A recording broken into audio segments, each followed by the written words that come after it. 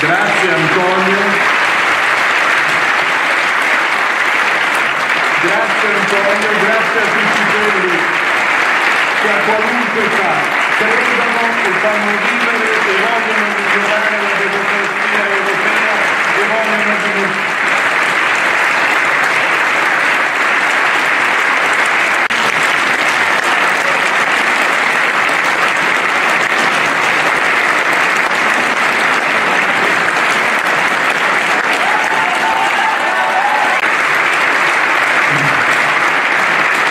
Grazie Antonio a